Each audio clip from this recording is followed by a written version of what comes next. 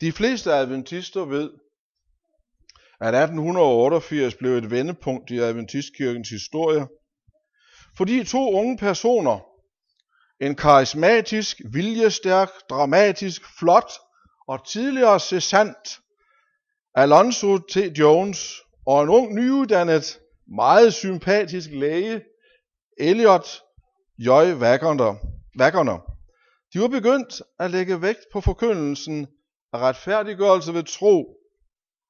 Og de var meget dygtige både til at tale, og de var også meget dygtige til at skrive. Men det vagte stor mishag hos generalkonferencens formand, G.I. Butler. Så stor mishag, at han tog sin afsked og nægtede genvalg ved generalkonferencen der i Minneapolis i 1888. Og hvorfor gjorde han det? Jo, fordi generalkonferencen støttede de to unge i deres forkyndelse. Og det gjorde Ellen White også. Men I.G. Butler, eller G.I. Butler, han ville ikke genvælges. Og så kan vi så tænke på, hvorfor. En anden person, som også blev meget vred over forkyndelsen af retfærdiggørelse ved tro, nok fordi han slet ikke forstod det, det var selveste chefredaktøren for Revieweren Herrel, Adventistkirkens officielle blad, Uria Schmidt, som i en lang overrække var administrerende sekretær i generalkonferencen. Han forstod slet ikke betydningen af retfærdiggørelse ved tro, og kom nok aldrig til det. Op til 1888 havde man lagt stor vægt på, at vi skal holde Guds bud. Det var ligesom det primære i prædikanternes forkyndelse. Adlyd og lev. Og så, vi skal holde Guds bud. Ja, selvfølgelig skal vi det. Hvad vil alternativet være? Vil det være at gå rundt og bryde alle Guds bud? Det kan vi ikke rigtig forestille os, at det skulle være rigtigt. Vi frelses bare ikke ved at holde loven. Loven er ikke vores frelser. Den viser os, hvad der er det rigtige og hvad der er forkert, men den kan ikke frel- loven kan ikke frelse os. Nu Adventistkirken var en ny kirke stiftet i 1863.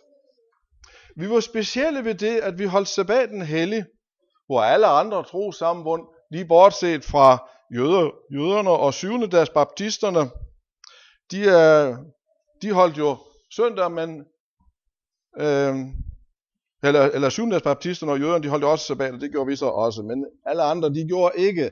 Og en væsentlig baggrund for vores sabbatselligholdelse, det er jo de ti bud. Giv dig Gud selv. Så derfor lagde man stor vægt på at holde loven op til 1888.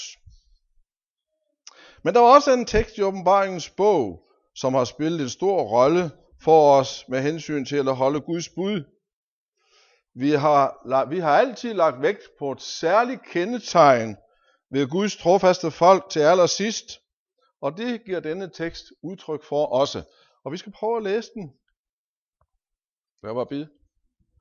Det er åbenbaringsbogs 14. kapitel, vers 12. Her kræves der udholdenhed af de hellige, dem som holder fast ved Guds bud og troen på Jesus. Fra 1846 og op til 1888 havde man lagt meget vægt på den første del af den tekst, nemlig dem, der holder fast ved Guds bud. Men man havde faktisk næsten totalt ignoreret den anden del af teksten, nemlig troen på Jesus. Man havde jo hovedsageligt forkyndt evangeliet, altså adventbudskabet, for mennesker, som allerede var, var kristne. Så de troede allerede på Jesus. Så i forkyndelsen, så havde man lagt meget mere vægt på nogle af de andre ting. Og der blev nu stort røre i andedammen over, at de to unge prædikanter begyndte at lægge vægt også på den anden del af åbenbaringen 14.12. Ja, det skabte endda vrede. Men Jesus var mere eller mindre faldet ud af budskabet op til 1888. Der var rigtig stor behov for at få Jesus ind i adventbudskabet igen som det helt primære. For uden Jesus som det primære i vores forkyndelse og også i vores daglige liv, vil vi i virkeligheden ende op som legalister, lovtrælle, frelse ved lydighed eller frelse ved egne gerninger. Det er meget interessant, at det virkelig er helt umuligt at holde Guds lov på den kærlige måde, som Jesus ønsker, vi skal, uden hjælp fra Jesus. Det kan ikke lade sig gøre, at et menneske med en syndig natur, uden Jesu Kristi ånd i vores hjerter, kan vi slet ikke holde loven, som den virkelig skal holdes med kærlighed som baggrund. Når Jesus, hans kærlighed til os, og ønske om at frelse os og hjælpe os, også i vores daglige liv, må have en første plads i vores liv. Uden Jesus i vores daglige liv, vil det være helt umuligt for os at leve som kristne. Den kraft, vi behøver for at holde Guds lov, fås kun hos Jesus. Den fås ved, at vi begynder at tro på ham. Den retfærdige skal leve af tro, siger Bibelen. Et vers, som vi i virkeligheden også som adventister er gået meget op i. Den retfærdige skal leve af tro. Bibelen siger ikke bare, at vi skal retfærdiggøre os ved tro, eller at vi frelses ved tro, eller at vi skal dø i den rigtige tro. Nej, den siger, at vi skal leve af tro og ved troen. Så det betyder, at vores daglige kristne liv er afhængig af en stadig levende tro på Jesus, og også en levende forbindelse med ham. Og derfor vil vi i dag gå et skridt videre i vores forståelse af noget af det, som Jesus i virkeligheden lagde rigtig meget vægt på, mens han var hernede på jorden. Han lagde rigtig meget vægt på troen. Troen på ham vil vi kigge på i dag, plus en ting mere. Og vi skal læse nogle skrifter sammen og tænke på betydningen af dem, og hvordan vi forholder os til det, de siger. Nå, der er et eller andet galt her. Jeg tror, at, uh, at den computer der gør lidt andet, end min computer gør. Øhm, men det er Johannes 5, vers 39 og 40. Den siger, I renser skrifterne, fordi I mener, at I har evigt liv i dem. Og netop de vidner om mig. Og så kommer det meget interessante. Og dog vil I ikke komme til mig for at få liv. Det er vigtigt at vide, hvem Jesus er. Og det er meget vigtigt at vide, at han blev født og kom til denne jord, og han døde på Golgatas kors for vores sønder i år 31. Det er vigtigt at have den rigtige viden om Gud og vores frelser, men det frelser os ikke. Djævlen har, og de onde ånder, de har også den viden, men det frelser dem ikke. Vi frelses ikke ved vores viden. Det troede gnostikerne i de første århundreder efter Kristus. Det ordet kundskab hedder på græsk gnosis, og der kommer gnostik, gnostiker. Men vi frelses ikke ved vores viden. Det troede det. Selvom Bibelen siger, og Jesus selv siger, at dette er det evige liv, at de kender dig og ham, som du har sendt. Så det er vigtigt at kende, men der skal mere til end det. Vi frelses ikke ved vores viden. Vi skal ikke op til eksamen, når vi kommer til himlen. Vi skal bruge vores viden til noget. Og Jesus siger, hvad vi skal bruge det til. Vi skal lære ham at kende, og så skal vi komme til ham. Vi må komme til Jesus for at få liv, står der. Og det var det, Jesus bebrejdede jøderne for, at de ikke ville. Han siger, dog vil I ikke komme til mig for at få liv? Man kan sige, det er meget tragisk. Og her var han. Han var sendt af Gud, men de ville ikke komme til ham. Lad os læse 1. Peter 2, vers 4. Kom til ham, den levende sten, som blev vraget af mennesker, men er udsøgt og kostbar for Gud.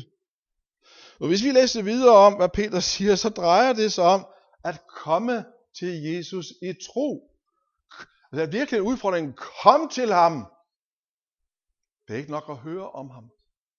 Vi må komme til ham. Den, som tror på ham, skal ikke blive til skamme, står der lidt længere nede i teksten. Og det er også interessant med sådan en tekst som Hebræerne 11.6. Men uden tro er det umuligt at behage ham, for den, der kommer til Gud, må tro, at han er til, og lønner dem, som søger ham. Så den, der kommer til Gud, må tro også. Så vi kommer til ham, den levende sten, som er blevet vraget af andre. Vi skal ikke også vrage ham, men vi skal benytte os af at komme. Nu i den gamle heldomstjeneste, som vi jo går meget op i som adventister, der hjalp det ikke israelitterne at vide, at tabernaklet stod derinde midt i lejren, og at Gud havde taget bolig i den lille bygning, og var midt i blandt dem. Det var først, når de kom til helligdommen, at det blev til gavn for dem. Og det samme er i virkeligheden tilfældet med os i dag. Vi må komme til Jesus, og han siger selv her i, øh, og den laver også pjat der, i Johannes 6:37, den som kommer til mig, vil jeg aldrig vise bort. Er det ikke fantastisk? Du kan aldrig komme forgæves. Den, der kommer til mig, vil jeg aldrig vise bort. Så opfordringen til at komme til Gud og til Jesus findes mange steder i Bibelen. Vi læste fra skriftlæsning, det der stod der i Hebræerne 7:25. Derfor kan han også helt og fuldt frelse dem, som hvad? Som kommer til Gud ved ham, fordi han altid lever og vil gå i forbøn for dem. Og vi har, og Gud har lovet, en levende frelser, som altid er parat til at tage imod os, hvis vi blot vil komme til ham.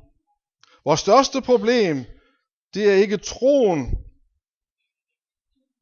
men det er, at vi glemmer at bruge tid til at komme til Jesus. Han siger jo i det kendte vers af Matthæus 11, Kom til mig, alle I, som slider jer trætte og bærer tunge byrder, og jeg vil give jer hvile. Igen en appel, en opfordring til at komme til Jesus. Kom til mig, og jeg vil give jer alt det, som I har brug for. Jeg vil ikke give jer sten i stedet for brød. Jeg vil heller ikke give jer skorpioner. Det er noget andet, jeg vil give jer. Og vi husker beretningen om den fortabte søn i Lukas 15. Den er meget kendt. Han endte op som svinehyrde. Det var i en jødes øjne det laveste, man kunne komme til. Det var virkelig en bunden af karrieren.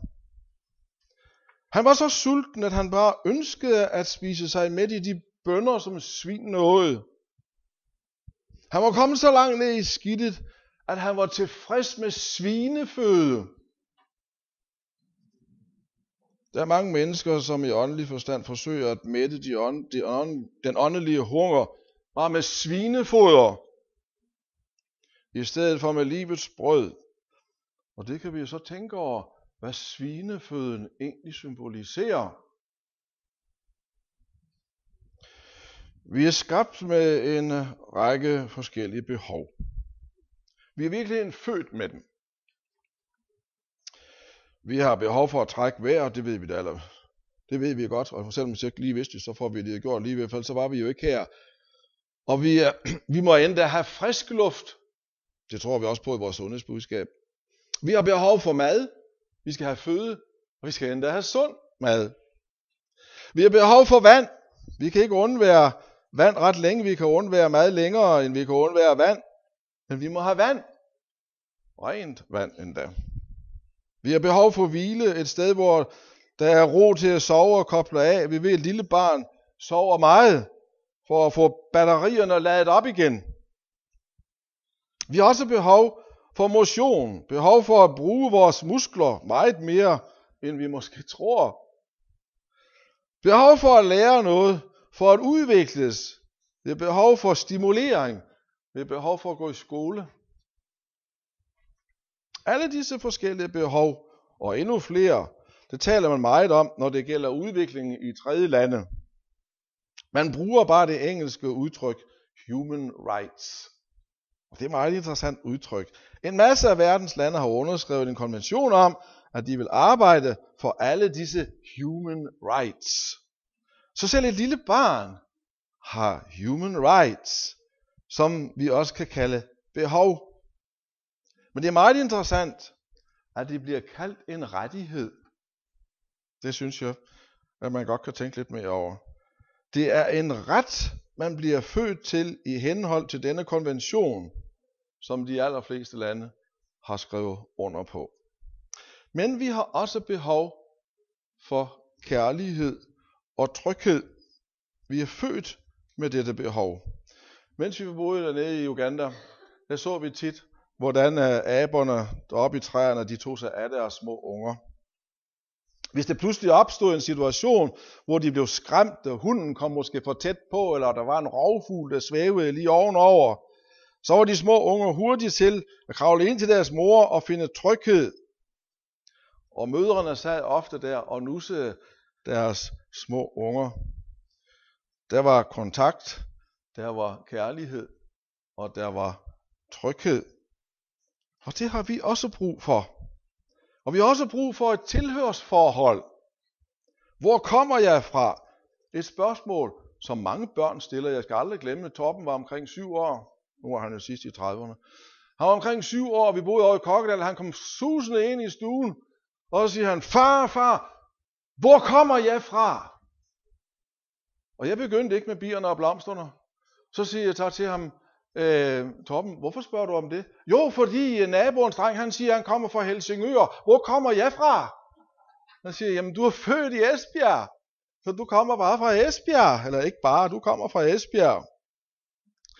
Vi har behov for at have et tilhørsforhold, også til vores himmelske far. Og vi har behov for samfund med Gud. Vi er skabt sådan. Og det er grunden til, at der er så mange religioner i verden i dag. Vi er skabt med et behov for et samfund med Gud. Det er der mange, der ikke ved. Men det er udtrykt på en enestående måde i salmen 42. Som jorden skriger efter de udtørrede vandløb, sådan skriger min sjæl efter dig, Gud. Min sjæl tørster efter Gud, den levende Gud. Hvornår kan jeg komme og se Guds ansigt?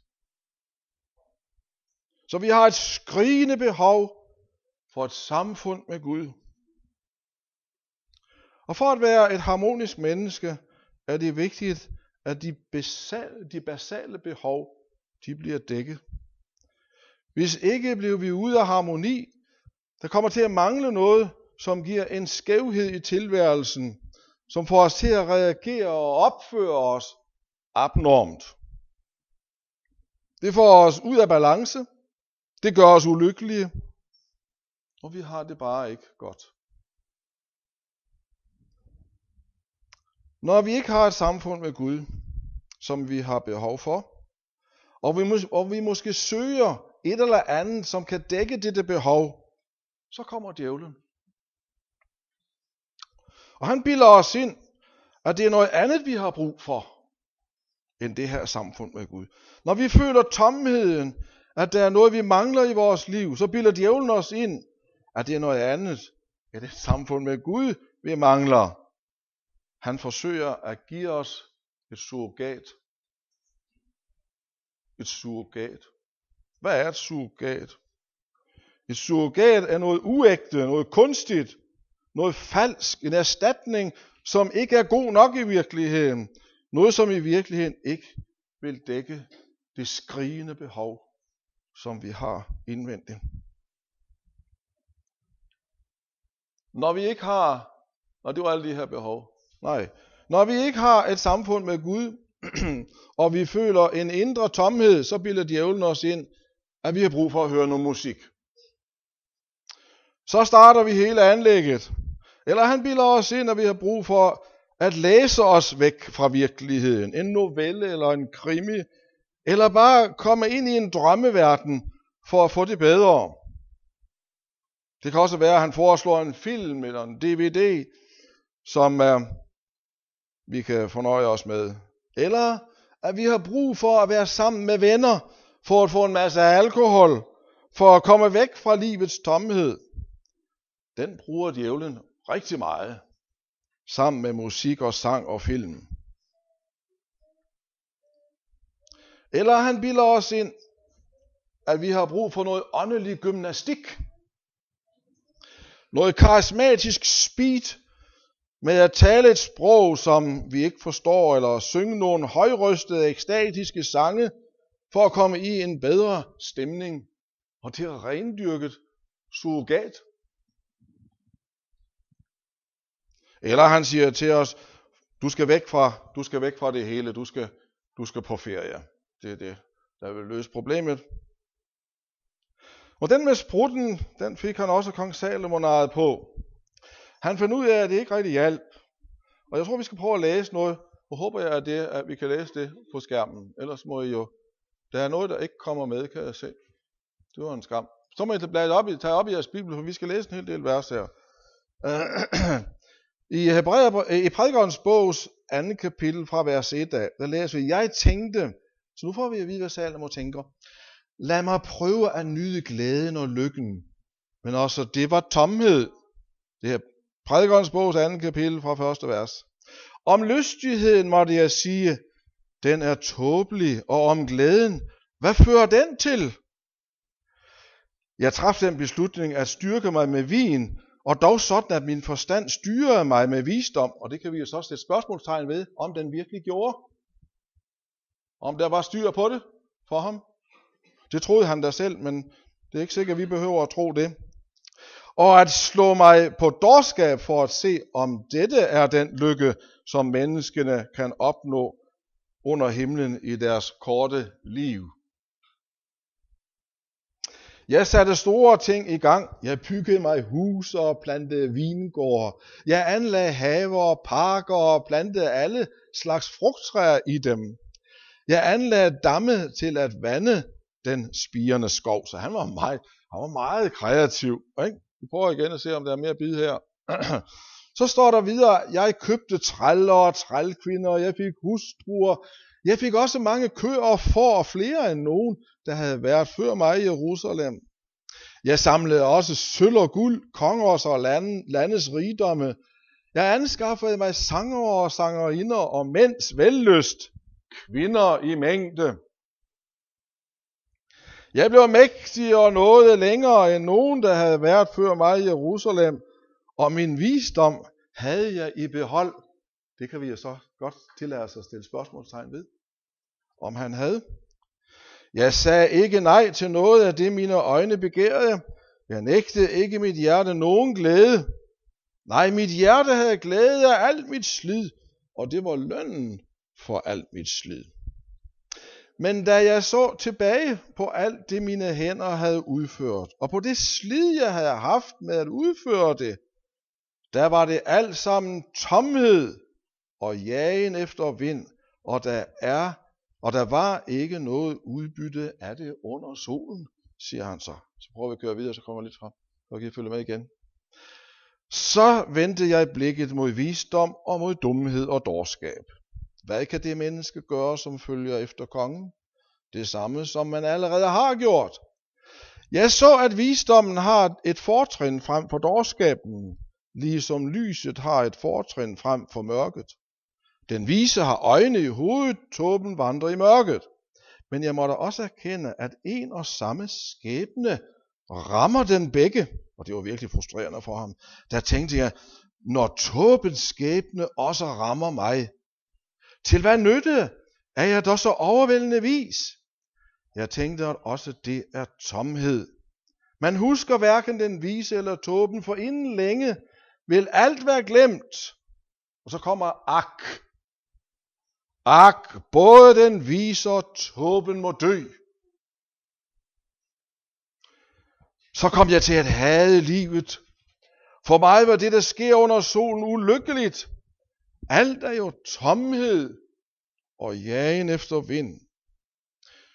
Og du sidder måske og tænker, hvorfor i alverden læse så mange vers om noget så negativt? Prædikernes bog er skrevet af den gamle vise Salomo, og den er skrevet til unge mennesker. Han fortæller om, hvordan han forsøgte at fylde tomheden i sit liv, i stedet for at fylde livet med et samfund med Gud. Vi har her Salomons surrogatløsninger.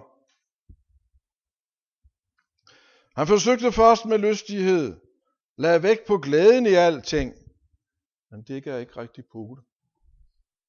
Så begyndte han at drikke, men det hjalp heller ikke.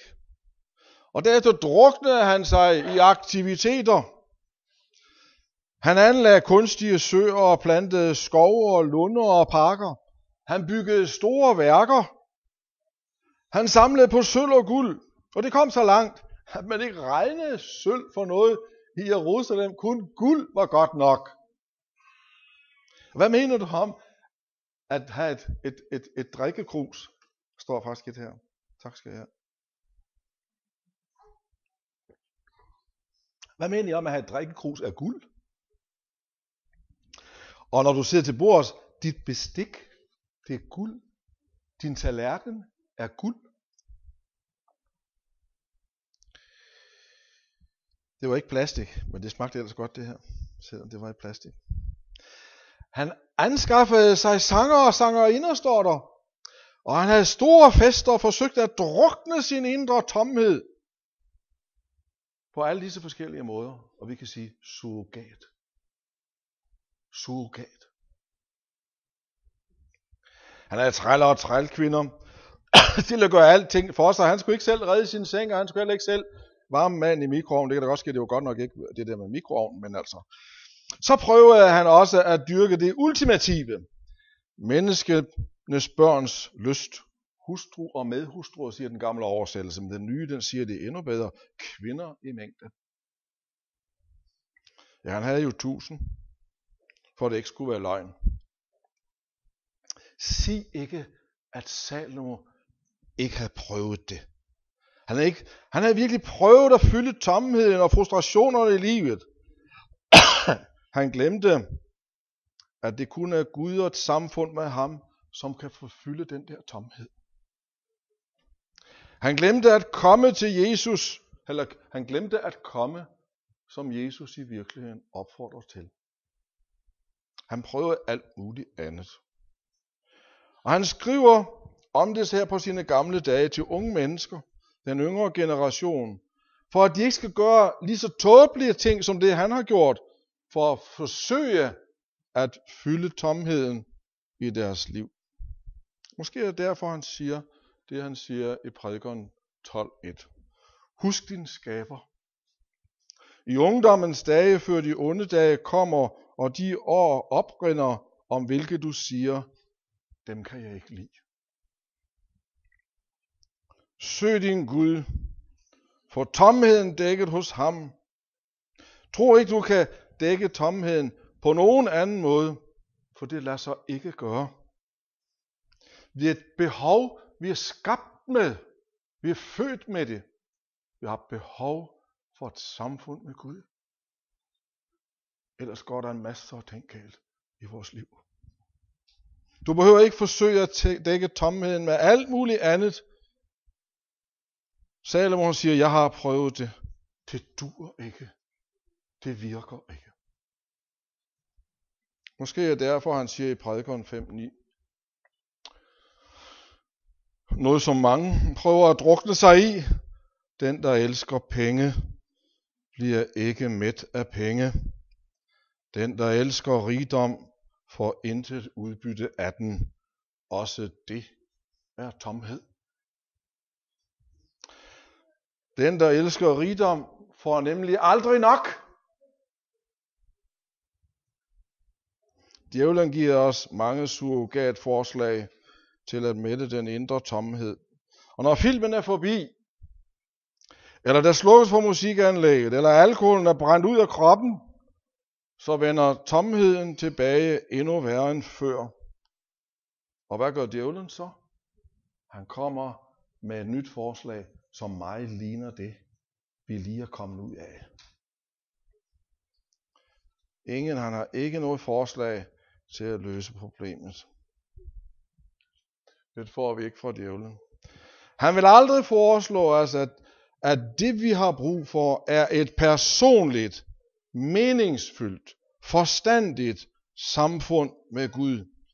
Det forslag får man aldrig fra djævlen. Han vil altid komme med et surrogat. Han vil fylde os med løgn og bedrage os, til vi til sidst går til grunde. Han giver aldrig op, og heldigvis er der en anden, som heller aldrig giver op.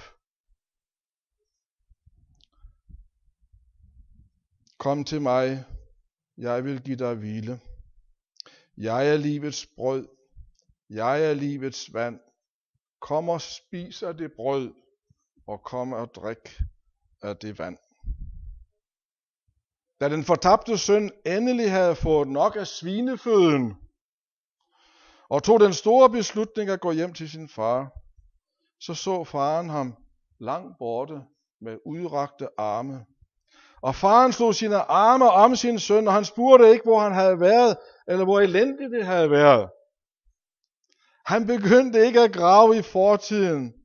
Nej, han var bare så glad over, at han nu var kommet hjem og ønskede en anden kost end de svinebønder, som djævlen kan tilbyde.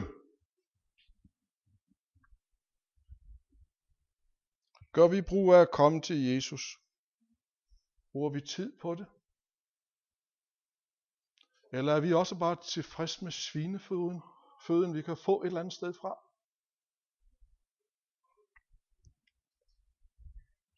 Hvis vi vil gøre, bruge tid på at komme til Jesus, så vil vi høre ham tale til os helt personligt fra sit ord, når vi læser det. Fordi han er nemlig ordet. Det står der i Johannes Evangelis første kapitel. Han er Guds levende ord, som kan fylde den indre tomhed. Jesus sagde til dem, jeg er livets brød. Den, der kommer til mig, skal ikke sulte, og den, der tror på mig, skal aldrig tørste. Han fylder den indre tomhed, og vers 63 siger, de ord, jeg har talt til jer, de er ånd og er liv. Hvis vi brugte tid på det, ville de åndsfyldte livets ord fra Jesus, som vi finder i hans ord, slukke den indre hunger og tørst. De ville fylde tomheden. Hvis vi bare brugte tid på det,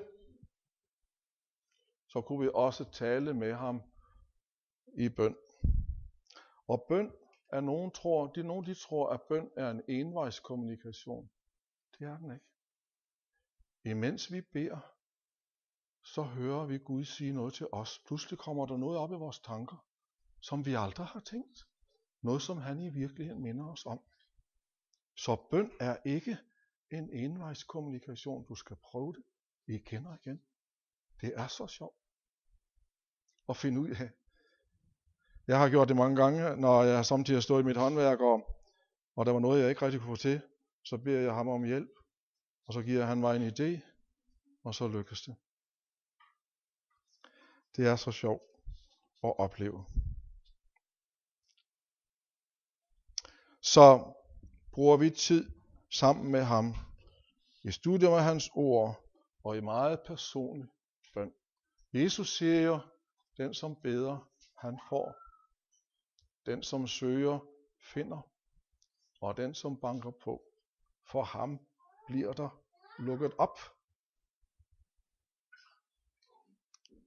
Og vi har så meget, vi skal nå, men et er nødvendigt, som Jesus sagde til Martha. Maria har valgt den gode del, og den skal ikke tages fra hende. Hun havde valgt at sidde ved Jesu fødder og lytte, og få tomheden fyldt med livets ord. Og hvad vælger vi?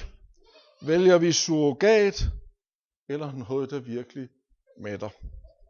Vi slutter med at læse fra Hebræerbrevets 4. kapitel, vers 15 og 16. For vi har ikke en ypperste præst, der ikke kan have, med, eller kan have medfølelse med vores skrøbeligheder, men en, der er blevet fristet i alle ting, ligesom vi, dog uden synd. Lad os altså med frimodighed træde frem for nådens trone, for at vi kan få barmhjertighed og finde noget til hjælp i rette tid. Det er et fantastisk skrift, du skal, du skal læse det for dig selv derhjemme igen og igen. Hebræerne 4, 16. Lad os benytte os af at komme frem for nådens trone. Lad os træde frem. Brug tid på det. Lad os komme til Jesus hver eneste dag, måske flere gange om dagen. Lad os bede. Og kære far i himlen, tak fordi du giver noget andet end djævelens surrogatløsninger. Tak fordi du har noget andet til os end svineføde. Vi beder om du vil fylde os med din hellige ånd, og vi beder om du vil tale til vores hjerter, når vi læser dit ord. Og hjælp os også til at høre din stemme, når vi beder til dig. Hjælp os til ikke at have så travlt, at vi ikke har tid til at lytte. Fyld os med din kærlighed og din fred og glæde, som du har sagt, at du vil give os. Vær med os hver eneste dag, og hjælp os til at være glade ved at vandre med dig hver eneste dag. Tak for din omsorg for os. I Jesu navn. Amen.